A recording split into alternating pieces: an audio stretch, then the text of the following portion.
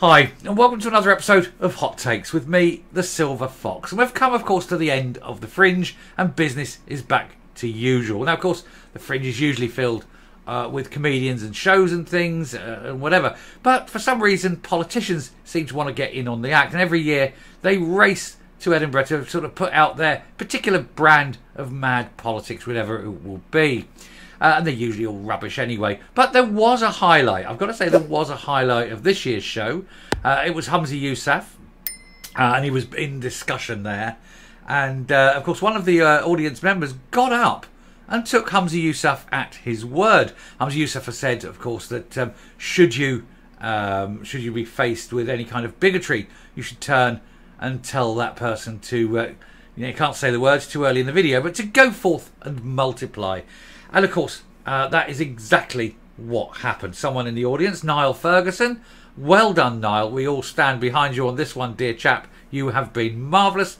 Stood up in the audience, expressed exactly what he thought of Humza Yousaf, and was appalled by Humza Yousaf's blatant anti white racism, and told Humza Yousaf to go fuck himself. Uh, and then he walked out. And well done, Niall. As I say, you are, sir, uh, a hero. Not all heroes wear capes, but you certainly should.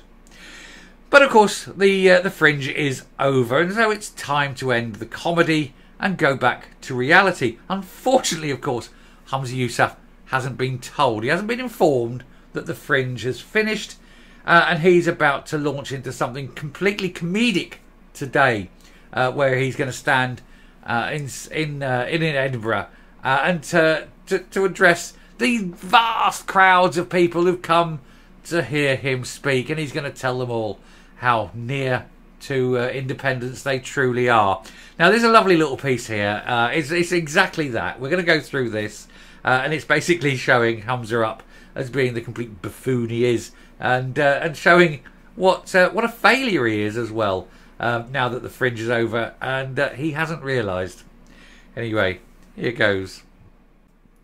So, has nobody told Humza Yousaf the fringe is over and his stand up comedy routine is too late? I was going to say his stand up comedy routine won't be particularly funny. Uh, and it's, actually, it's going to be funny, but not for the reasons you think. Um, it's going to be hilarious for us watching from the outside because he's expecting a huge crowd. And I think the crowd will be a lot less than, uh, than he thinks. There will be far fewer people than uh, he imagines. He's thinking that there were. Uh, um, you know, there's going to be a big uh, appetite for what he has to say. He can't even convince his own side to listen to him. Anyway, the Search for Laughs in Edinburgh every August sees 2.2 million people flock to the city's comedy clubs, where there's just 10,000 we on hand to hear the biggest joke in Scotland on Saturday afternoon. That's assuming 10,000 even turn up. At the time of recording this, I don't know how many are there uh, because I recorded this in advance of his meeting, of his of his um, appearance. So um, we will look at it uh, afterwards and see if there are 10,000. I suspect possibly not. Anyway, I thought the joke of the Fringe this year was a particularly lame effort, says the writer of this piece. I started dating a zookeeper, but it turned out he was a cheater. Uh, I don't think that's funny at all. I think it's rather pathetic. Uh, Lorna Treen's gag doesn't even really make sense. It would actually work better if she said she started dating a big cat, uh, but that would just be too weird. Um, not if it was a cougar. Hey, dating a cougar. Anyway, Rod Liddle actually made this point in The Spectator, writing The second thing to say is that Lorna's joke quite possibly was the funniest thing said throughout the ghastly festival because they've banned all the stuff that's really funny. Yeah, you're not allowed to say things about anything now.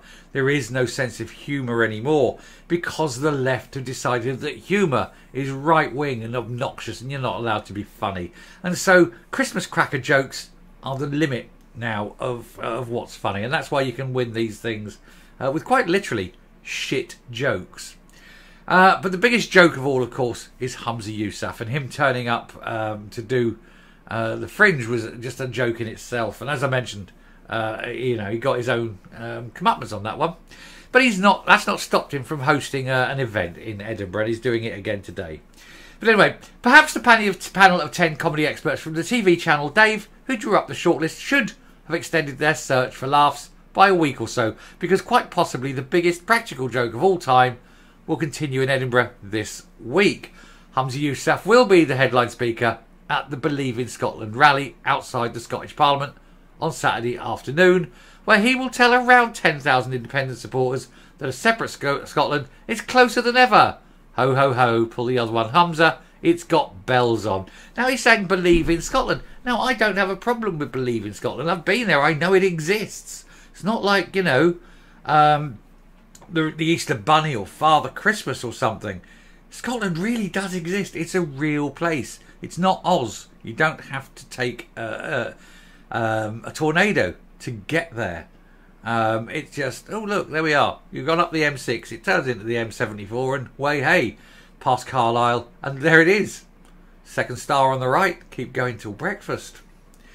Uh, anyway, his fellow stand up comedians include Scottish Green Party co leader Lorna Slater. She's the biggest joke of them all uh, whose incompetent handling of every single policy under her remit would be utterly hilarious if it wasn't for the fact she's cost businesses hundreds of millions of pounds and caused untold stress and worry for ordinary people.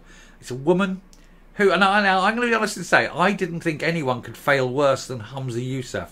But Lorna Slater, well done. Well done. You've managed it. You have failed worse than Humza Yousaf that's quite an achievement in its own right, and I think it's worthy of a round of applause. Uh, the Hollywood actor Brian Cox was also due to speak, but he was forced to pull out uh, after lying about testing positive for COVID. And it's hard to imagine that his idea of a federal United Kingdom would be very popular among such a committed crowd of Nats. So perhaps he's had a lucky escape. Um, he never turns up to these things. He was meant to turn up with um, Salmond and decided not to. Uh, he didn't have COVID then. He just couldn't be bothered uh, because it involved going to Scotland, a country he got out of the first time he had enough money to buy a plane ticket to the United States. The biggest chuckle of all, however, must be reserved for Humza Yousaf's Minister for Independence, Jamie Hepburn.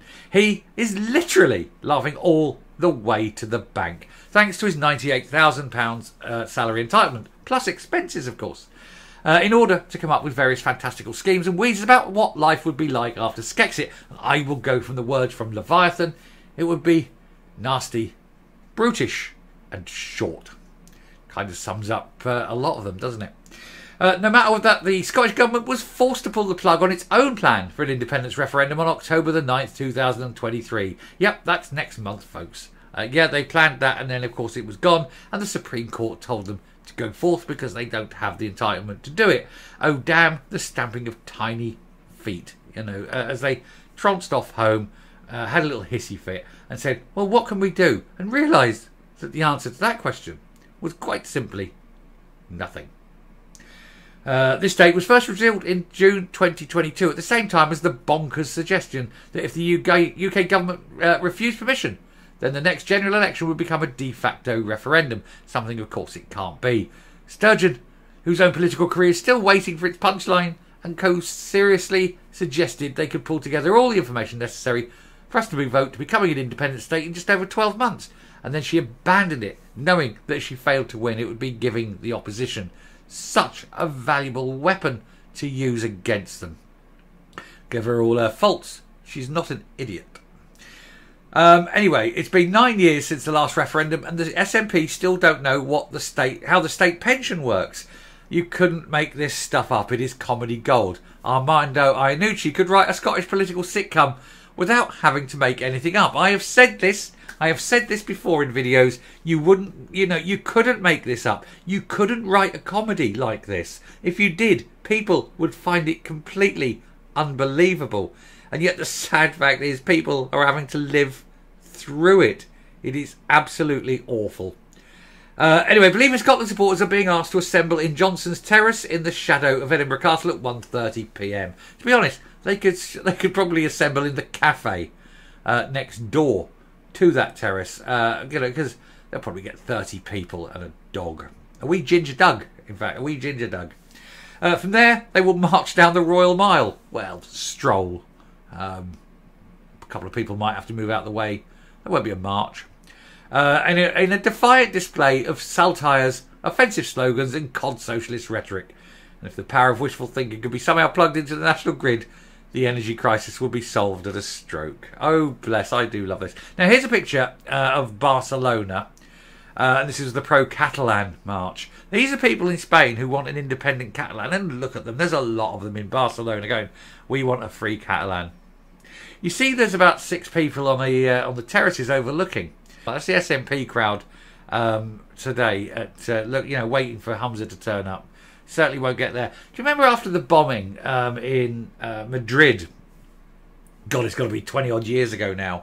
Uh, I happened to find myself in Madrid that weekend, and uh, I I was in a two million man march. It didn't mean to be. It was me, my wife, my son. We were trying to get across the city from one side to the other. We were on foot, and we literally we got a bit of string and just tied each other with the string around each other's wrists. Put Tom in the middle, his son in the middle, and we just dragged across that city because we didn't want to get separated.